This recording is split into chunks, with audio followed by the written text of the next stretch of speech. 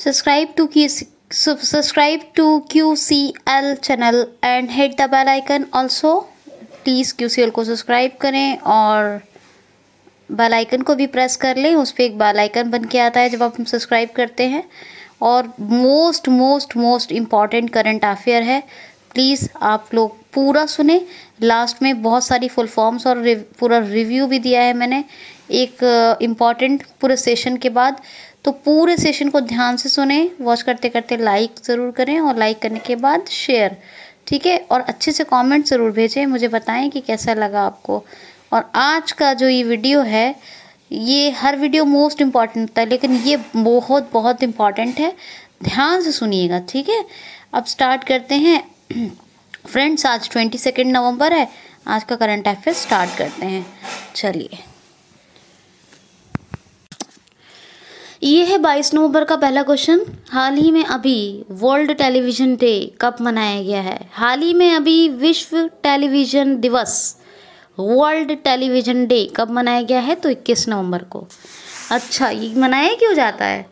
तो पत्रकारों, लेखकों और ब्लॉग ब्लॉग ब्लॉगरों को इकट्ठा होकर ब्लॉगर्स पत्रकार, लेखक और ब्लॉगर्स इकट्ठा होकर, टीवी के प्रोत्साहन और इसके सही, यानी उचित प्रयोग के बारे में अवेयरनेस डेवलप कर सक, करते हैं और इसके बारे में चर्चा करते हैं।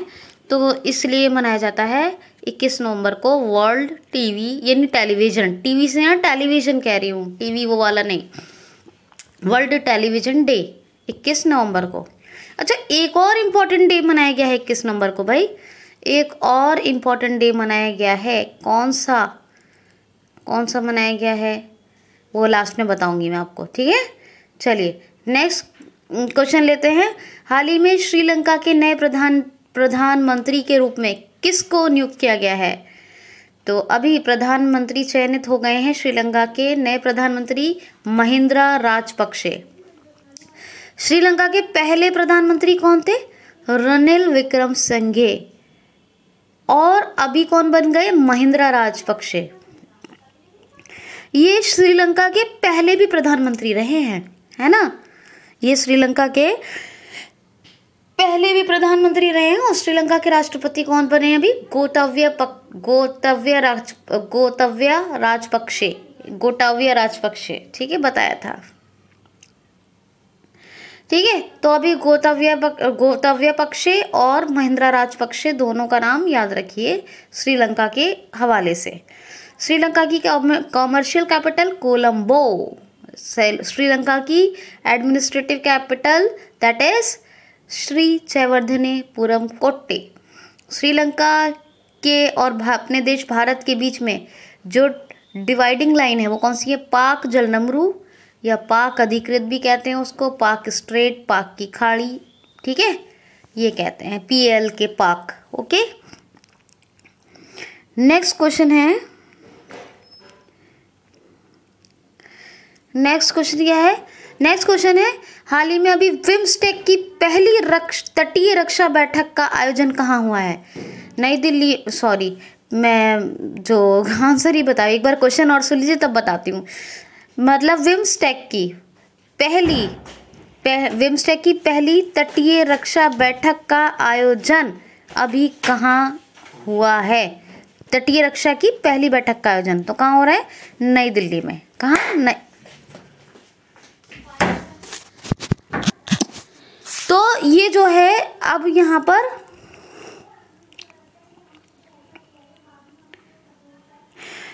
bay of bay of Bengal initiative for multi sectoral technical and economic and economic corporation BIMSTEC bay of Bengal initiative for multi sectoral technical and economic corporation ये है विम्सटेक की फुल फॉर्म इसकी क्या बैठक अभी कहाँ आयोजित हुई है?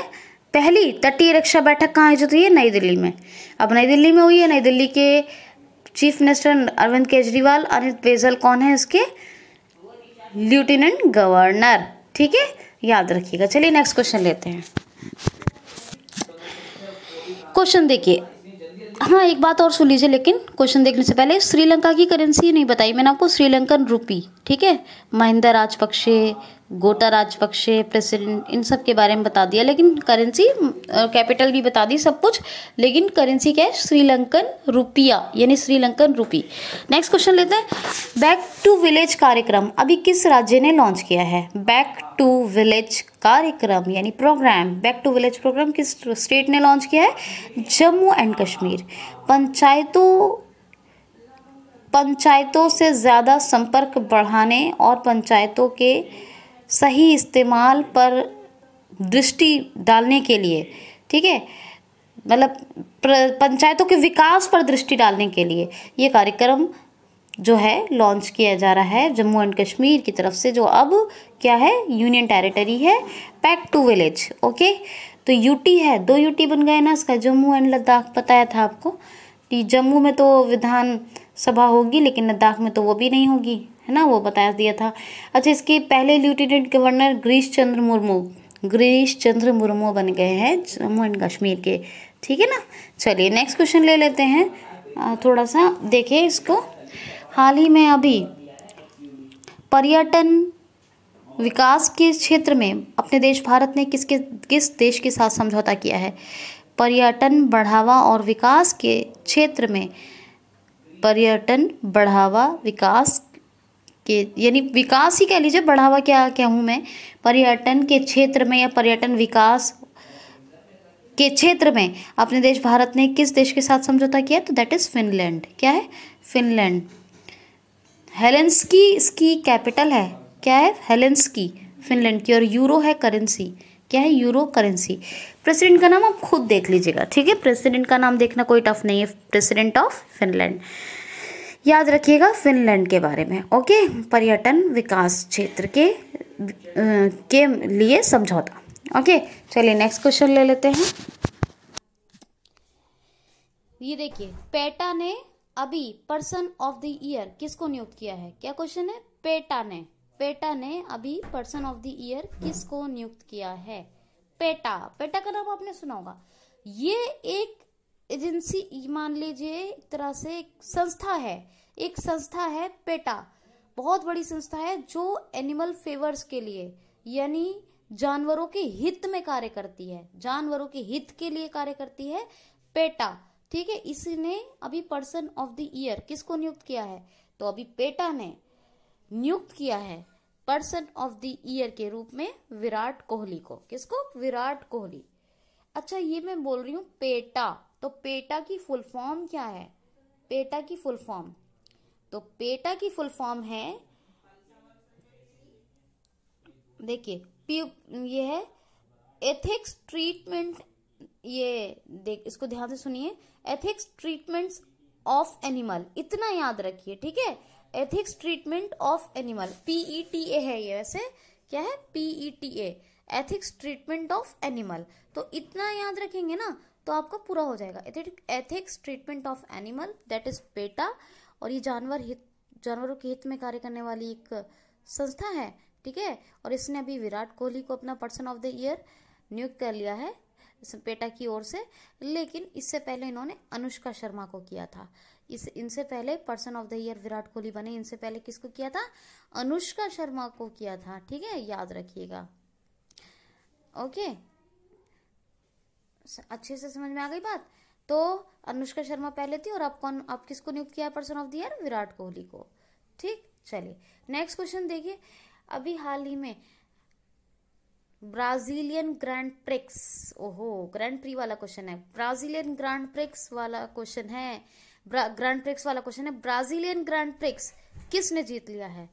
तो ये जीत लिया है मैक्स वेक्सटप्पन ने। किसने? मैक्स वेक्सटप्पन अब मैक्स वेक्सटप्पन ने जीत लिया है ब्राजीलियन ग्रैंड प्री ठीक है? ये इस साल का अठारवा ग्रैंड प्री है। क्या है? कौन सा ग्रैंड प्रिक्स है? अठारवा ग्रैंड प्रिक्स और सत्रह के सत्रह ग्रैंड प्रिक्स मैंने आपको बताए हैं इससे पहले। क्या? सत्रह के सत्रह। सेवनटीन आउट ऑफ़ सेवनटीन में बता चुकी हूँ और आज मैंने आपको अट्ठारह बताया है। एटीन नंबर का बताया है। इस साल का ये अठारवा 2019 का अठारवा ग्रैंड प्रिक्स है। कौन सा? ब्राजीलियन ग्रैंड प्रिक्स तो ब्राज़ील ब्राजीलियन ग्रैंड प्री किसने जीत लिया है? किसने जीता है ब्राजीलियन ग्रैंड प्री तो मैक्स वेक्सटेपन ने। अब मैंने एक बात और कही थी। जितने भी ग्रैंड प्रिक्स में जो भी ड्राइवर्स होते हैं ये, जैसे मैक्स वेक्सटेपन है है ना? लुइस हैमिल्टन लुइस हैमिल्टन है, है? कोई भी हैं जितने भी होते हैं जितने नाम मैंने आपको बताए हैं ठीक है ना? चार्ल्स लिकलर है बहुत है ठीक? तो मुझे ये बताइए कि मैंने आपसे एक बात हमेशा कही कि इनकी कंपनीज़ के नाम याद रखें जितने भी ड्राइवर्स हैं इनकी कंपनीज़ के नाम आपको ज़रूर याद रखने हैं। तो मैंने इनका बारे में आपको कई बार बताया है। ठीक है? मैक्स वेक्सटेपन का भी मैं पहले भी बता चुकी हूँ सत्रह ग्रैंड प्री में हैं ऐसे ग्रैंड प्री जिन्हों, जो पहले इन्होंने जीते हैं मैक्स वेक्सटेपन ने। तो वो और जो आपको सत्रह में से जितने भी याद हैं, वो और ये आज अट्ठारहवा हो गया, अट्ठारह के अट्ठारह में से जितने भी याद हैं, आप कमेंट बॉक्स में लिखिए। अब ड्राइवर कंपनी ड्राइवर्स की कंपनी याद रखनी चाहिए। तो ये मैक्स वेक्सटेपन किस कंपनी के हैं? मैक्स वेक्सटेपन है रेडबुल के। मैंने पहले भी बताई, इसीलिए कहा था कि पहले भी बता चुकी हूँ। तो मैक्स वेक्सटेपन किस मैक्स वेक्सटेपन किस कंपनी के ड्राइवर हैं? Red Bull Red Bull company के ड्राइवर हैं। मैक्स वेक्सटेपन, और इन्होंने इससे पहले भी ग्रांड प्रिक्स जीते हैं। कौन कौन से जीते हैं, इनको रिवाइज कीजिए, ठीक है? मेरे पिछले वीडियोस से। और सत्रह के सत्रह मैंने बताए हैं। जितने याद है, आज अट्ठारवा बताया है। जितने भी याद है बेफिक्र हुई मैं यहाँ पर हूँ आप लोगों के लिए। उतने आप कमेंट बॉक्स में लिखिए, मैं आपको दोबारा बताऊँगी। बकायदा एक वीडियो बना दूँगी आपके लिए, परेशान मत होइए। लेकिन जितने याद है तो कमेंट बॉक्स में लिखिए। तो ये अठारवा ब्राजीलियन ग्रैंड प्रिक्स जीता है। किसने? मैक्स वेक्सटेपन ने, और ये रेड बुल के ड्राइवर हैं। चलिए, एक क्वेश्चन एक सुनी लीजिए।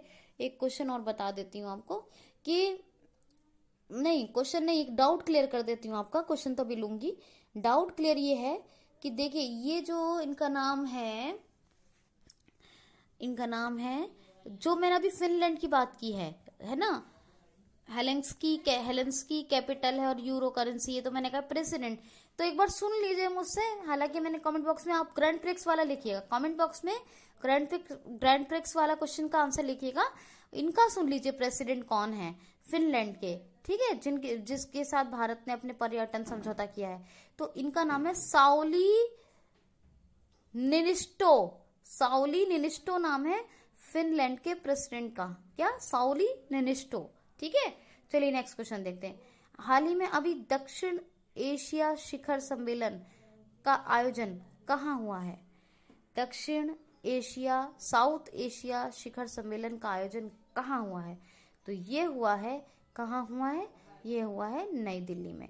हमारी केंद्रीय वस्त्र मंत्री हैं, वस्त्र केंद्रीय उद्योग एवं केंद्रीय वस्त्र मंत्री हैं, इतना याद रखिए। कौन है? स्मृति ईरानी। स्मृति ईरानी है कपड़ा उद्योग मंत्री केंद्र सेंट्रल, केंद्रीय वस्त्र एवं उद्योग मंत्री हैं, वस्त्र उद्योग मंत्री हैं। कौन? स्मृति ईरानी। इन्होंने इसका उद्घाटन किया है। स्मृति ईरानी जी ने। और ये नई दिल्ली में हो रहा है दक्षिण एशिया शिखर सम्मेलन का आयोजन। ठीक है? याद रखना है आपको। चलिए नेक्स्ट क्वेश्चन लेते हैं अब जल्दी से।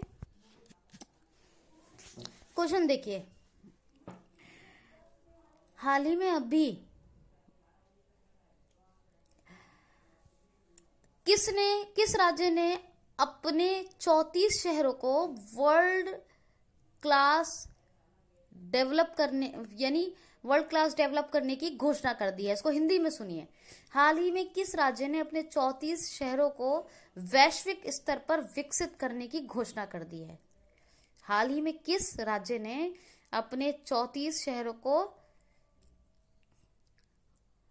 वैश्विक स्तर पर, यानी world class city, world class develop cities, developed cities जो है ना, उन, वो बनाने की, वर्ल्ड क्लास डेवलप सिटी या वैश्विक स्तर पर विकसित करने की घोषणा कर दी है। तो ये की है मध्य प्रदेश ने। किसने की है? मध्य प्रदेश ने। अब देखिए, मध्य प्रदेश। मध्य प्रदेश की कैपिटल है जी भोपाल। मध्य प्रदेश की 28 प्रतिशत आबादी यानी पॉपुलेशन, अवधि जो है 28 परसेंट आबादी, जिसको कहते हैं, अब क्या कहते हैं इसको? अवधि कहते हैं पीरियड को, और आबादी है ये population 28 percent. Twenty eight percent जो पॉपुलेशन है, जो आबादी है, ठीक है, वो रहती है इन थर्टी फोर सिटीज़ में। और इन सारी सिटीज़ को थर्टी फोर सिटीज़ जो है एमपी की एमपी ने वर्ल्ड लेवल पर, यानी जो डेवलप्ड सिटी हैं, बिल्कुल जो डेवलप्ड हैं डेवलप्ड कंट्रीज़ जितने हैं, के सिटीज़ हैं, वो बनाने की बात कर दी है, यानी ए वन बनाने की बात कर दी है, घोषणा कर दी है एमपी ने।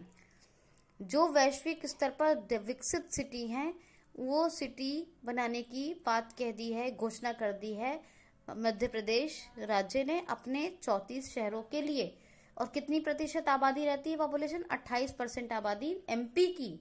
28 परसेंट पॉपुलेशन ऑफ़ एमपी उनमें रहती है। एमपी के लालजी टंडन गवर्नर हैं, राज्यपाल, और एमपी के चीफ मिनिस्टर हैं कमलनाथ। ठीक है? याद रखिएगा। नेक्स्ट क्वेश्चन है, अभी हाल ही मन्नू भाकर ने आईएसएसएफ में कौन सा पदक जीता है? अभी हाल ही में मन्नू भाकर मनु भाकर ने आईएसएसएफ में कौन सा पदक जीता है? तो मनु भाकर ने जीता है दस meter air rifle air rifle में गोल्ड मेडल। मनु भाकर ने, अब आईएसएसएफ क्या है? इंट, ये देखिए, international shooting sports federation, international shooting sports federation इसी में 10 मीटर एयर राइफल में, एयर राइफल में मनु भाकर ने जीता है क्या? Gold medal. क्या जीता है? Gold medal. ठीक है? आप देखिए। एक क्वेश्चन लेते हैं। हाल ही में अभी थर्ड एम्पायर मशीनें कहा स्थापित की जाएँगी? Third umpire machines. कौन सी? थर्ड एम्पायर मशीन्स कहाँ स्थापित की जाएँगी? तो ये की जाएँगी कोलकाता में। कहा? कोलकाता में। ये थर्ड एम्पायर मशीन्स क्या है? तो देखिए, होता क्या है? डेंगू, तपेदिक और स्वाइन फ्लू जैसी खतरनाक बीमारियों का पता लगाने के लिए ये स्थापित की जा रही हैं कोलकाता में। क्या? क्या? थर्ड एम्पायर मशीन्स अब ये क्यों की जा रही हैं? तो ये जो है ये जो है, ऐसा होता है कि कभी कभी मेडिकल रिपोर्ट किसी व्यक्ति की और ब्लड रिपोर्ट मैच नहीं करती हैं। किसी व्यक्ति की कभी कभी मेडिकल रिपोर्ट और ब्लड रिपोर्ट्स जो होती हैं, वो मैच नहीं करती हैं और इसी के चलते, इसी के चलते क्या? थर्ड एम्पायर मशीन्स लगाई जा रही हैं जिससे कि उनको सॉर्ट आउट किया जा सके। ठीक है? अब ये अब ये जो है आरटी पीसीआर मशीन है। कौन सी? RT PCR machine. ठीक है?